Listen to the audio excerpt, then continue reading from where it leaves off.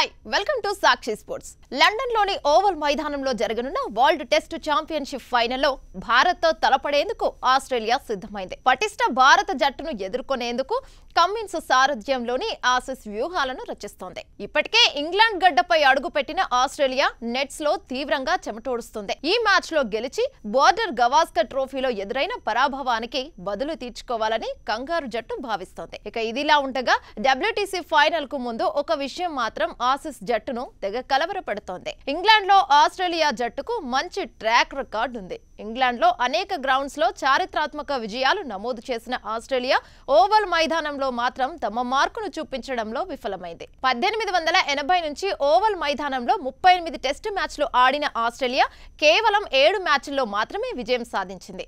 ఓవల్లో ఆసిస్ జట్టు విజయ శాతం కేవలం పద్దెనిమిది పాయింట్ నలభై రెండు మాత్రమే.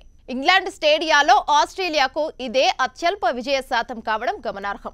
ఇక ఈ మైదానంలో ఆస్ట్రేలియా గత యాభై ఏళ్ళలో కేవలం రెండు సార్లు మాత్రమే విజయం సాధించింది. అయితే ప్రఖ్యాత లార్డ్స్లో మాత్రం ఆసిస్ జట్టుకు అద్భుతమైన ట్రాక్ రికార్డు ఉంది. లార్డ్స్లో ఇరవై తొమ్మిది మ్యాచ్లు ఆడిన ఆస్ట్రేలియా పదిహేడు మ్యాచ్ల్లో విజయం సాధించింది.